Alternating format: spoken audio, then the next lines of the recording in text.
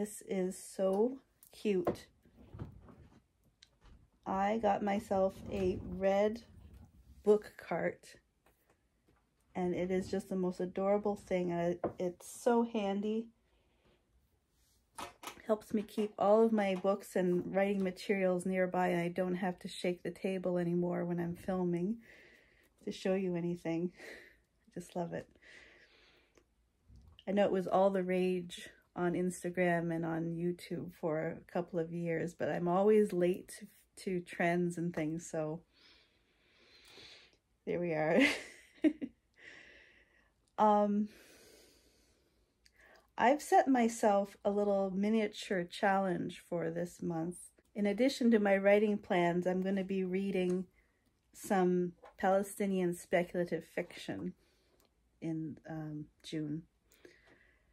Now, I last year started a challenge which was to read Palestinian speculative fiction, and I created an entire reading list. It's quite popular, but the challenge didn't take off. I tried it on Twitter, and I just didn't have the mileage, I think, or the reach to make it um, take off. But I'm not daunted, and I think maybe with a little bit more structure, it might be a little bit um, more manageable for people to dive in if they have never tried any before. So what I did is I chose a novel from every novelist that was on the list because the, the list itself, which I'll leave a link in the description to, covers poetry, short fiction, and long fiction, nonfiction, so there's essays, interviews, picture books, comics, graphic um, graphic novels. There's just there's everything that I could find. And I have read many of this the short fiction because that's sort of my my uh, wheelhouse. And I don't read a lot of novels, so I decided to choose a novelist or one novel from every novelist that was on the list. And I, as a treat, I allowed myself a book of short stories as well. So there's more books that are in the mail right now, but right now I have this one, which is The Book of Disappearance by Ibtisam Azem, translated from the Arabic by Sinan Antoon. And this is apparently a a novel about it speculates like what would happen. Speculative fiction always has a often has like a question that's at the heart of the story. Um, and the question of this is what would happen in Israel if every Palestinian just disappeared one day, completely disappeared without a trace. And so it's part mystery and delving into the complicated realities of people that are left behind. So there's um, part of it is told through the entries in a journal by one of the Palestinians that disappeared and his neighbor, his Israeli Jewish neighbor is trying to find out what happened to the Palestinians. And there's a mixture of reactions to this. So I'm really interested in taking a look at what what um, what this one has to show for me. But it's I'm not in the mood for something really heavy right now, so I'm not sure I'm going to pick that one up right away. I had a trigger yesterday, and unfortunately I have to um, take into account my ability to uh, handle anything that's really heavy right now. Uh, I don't want to just burn myself out and then I don't really engage with the book as well as I could otherwise. So I don't know if there's any trigger warnings for this book. I haven't looked them up, but I might have to do that just in case. As frankly, a lot of Palestinian fiction is very heavy because our reality is dealing with colonialism and uh, racism and apartheid and stuff like that. So um, it's to be expected when I when I'm reading these this material. Um, then the other book I have is Elise Stephens' Forecast. And this is a YA novel. Um, the psychic gift of prophecy has torn apart Calvin Forsythe's family before. For many generations, the ability to see the future has come tied to a life-altering curse and the chilling attention of a secret society intent on drawing the Forsythe bloodline under its power. So this is nice, chunky fantasy book. and I've never, I haven't read a lot of YA, so this is going to be something very interesting for me um, in terms of like the category. I read a lot of fantasy, but usually short fiction. So I'm looking forward to this one. And I don't have any of the other novels that I want to read this month here, but I have the short story collection. And this is by Jamil Nasir. It's called Short Trips. And Jamil Nasir is, as far as I know, he's he is one of the, if not the uh, earliest Palestinian speculative fiction writers in English. He is um, on the on the reading list. that His novels go back quite a ways, quite a few decades, and this is the only collection of Palestinian speculative fiction that's been written in English by a single author that I could find. So I'm really looking forward to trying this out as a, as a treat.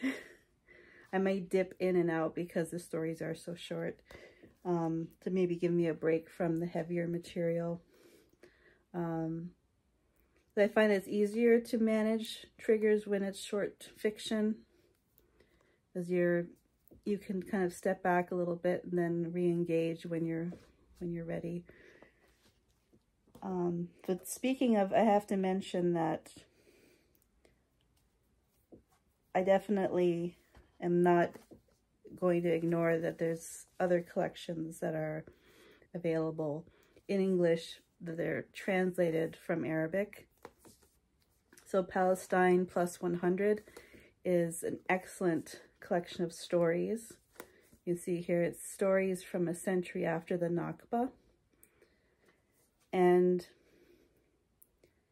these are all speculative fiction, a lot of science fiction um, that deals with what Palestine would be like a hundred years after the expulsion of the Palestinians in 1948, which is called the Nakba. And that milestone will be upon us before long. It's going to be a couple of decades from now. So these are sort of near future um, settings. And you can see I haven't actually finished this book because it was so heavy. Uh, it's very dense material, very heavy material.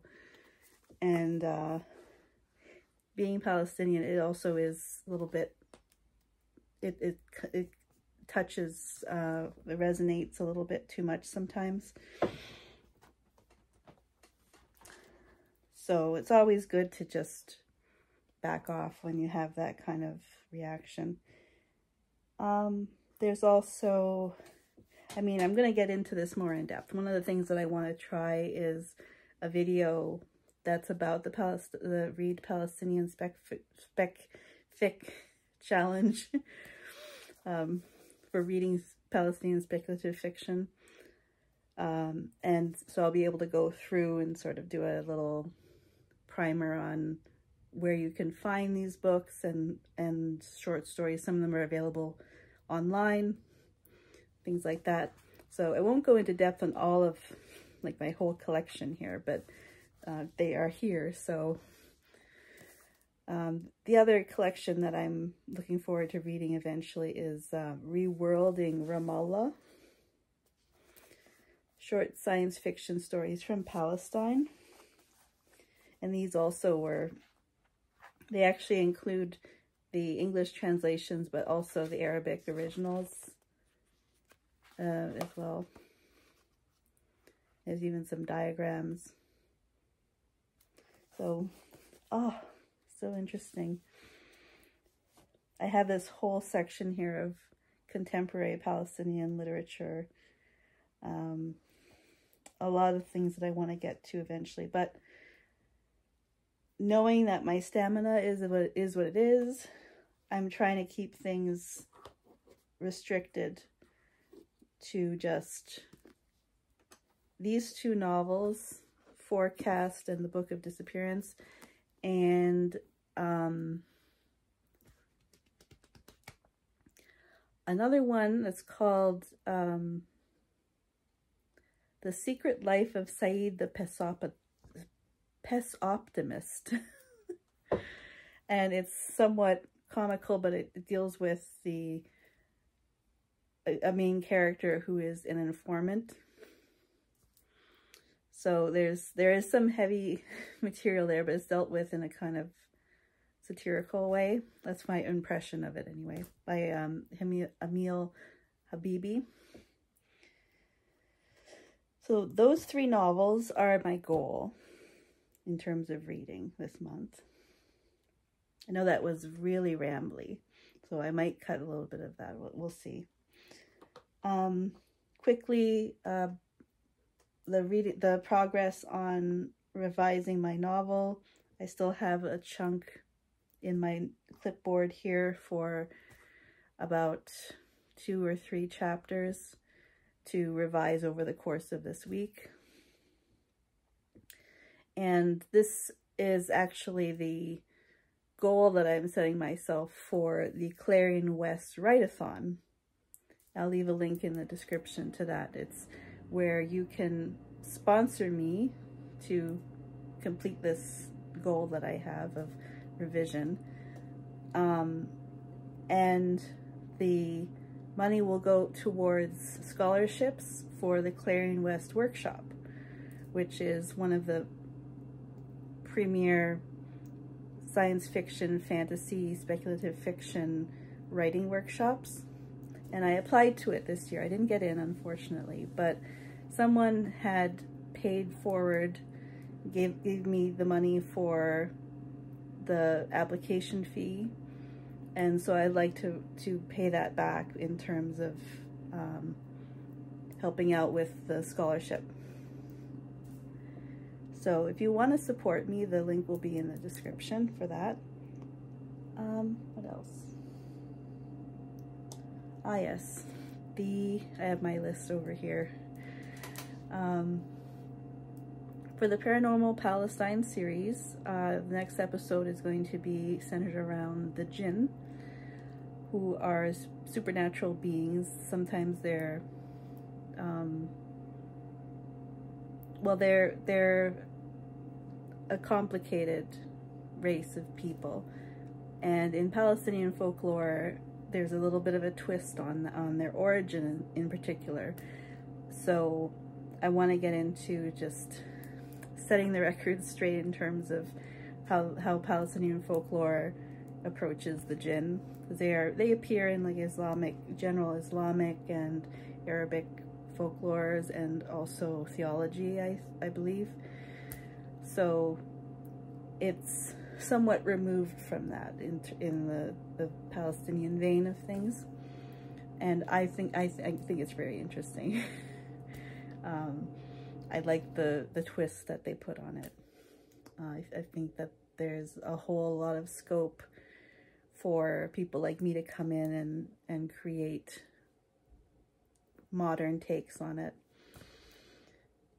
Um, wow, I, I, I did actually cover everything. So we're under 15 minutes. That's incredible. I thought it was going to be much, much longer. Uh, so yeah, I have a wonderful book cart. I have a picture of it here. I'll post it in there in post-production. Um, and uh, I'll see you next time.